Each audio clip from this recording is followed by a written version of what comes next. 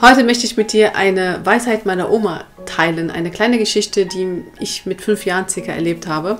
Damals war ich mit meinen Eltern in Tunesien und meinen Geschwistern und die Mutter meines Vaters hat oft Wasser geholt und da mussten wir einen Berg hochsteigen. Es war so, so spannend für mich das alles. Sie hat dann immer so Kanister auf ihrem Kopf gehabt und ist dann mit zwei Händen, hat sie noch zwei Eimer, den Berg hochgeklettert.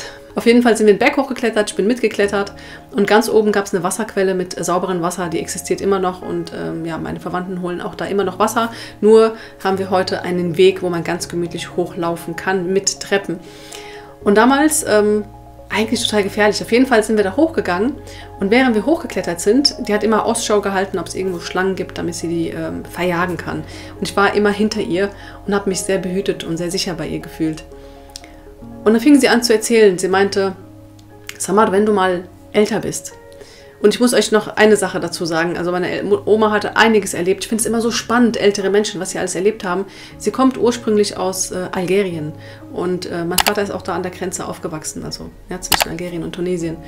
Und sie hatte damals einen Mann geheiratet, hat eine Tochter bekommen und Mann und Tochter sind gestorben. Da war irgendeine Krankheit, sind beide gestorben. Mein Opa damals, zufälligerweise hatte er eine Frau geheiratet und einen Sohn bekommen. Frau und Sohn sind an der gleichen Krankheit gestorben wie ihr äh, Mann und ihre Tochter. Und damals hatten es die Menschen mitbekommen und meinten zu meiner Oma hier, da gibt es einen Mann in der Nachbarschaft, der hat das gleiche Schicksal wie du, vielleicht könnt ihr ja heiraten und ähm, nochmal neu starten. Dann haben sie geheiratet und haben einen Vater bekommen. Also super spannend. Auf jeden Fall sind wir dann ähm, ja, da hochgelaufen und sie meinte zu mir, Samad, wenn du irgendwann mal groß bist und heiratest und du hast gerade Streit mit deinem Mann.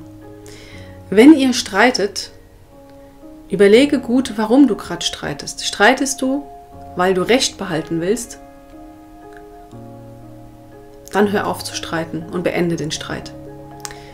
Als kleines Kind habe ich es gar nicht verstanden, was sie meinte. Und mir ist es jetzt vor kurzem eingefallen, wie weise das ist, dass wenn wir mit jemandem streiten, ich mich selber frage, warum streite ich überhaupt? Will ich jetzt nur Recht behalten das ist so viel Energieentzug, wenn ich versuche, mich recht zu fertigen oder einfach nur recht zu behalten. Warum nicht einfach den Streit beenden und dabei belassen?